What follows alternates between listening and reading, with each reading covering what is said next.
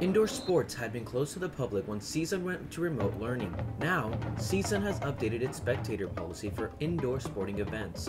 Fans can now cheer teams on in person. CSUN basketball fan Paul Marjorie Oduru likes the policy change. I'm sure the players love it too, having the fans back. It's a better experience. It feels more like a game. And it's just like overall fun, you know? The new rule requires spectators to complete a health screening survey before entering the Matadome. This started February 3rd when CSUN's men's basketball played UC San Diego.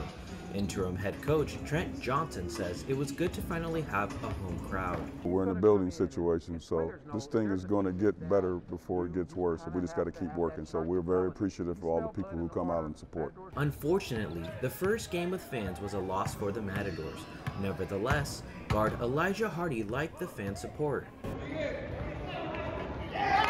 We feed off that energy, so it, we would love for all the Matadors, all the Matador students to come out and watch us play and, and just cheer us on because, you know, that, that'll get us the win too, though, an extra fan, you know.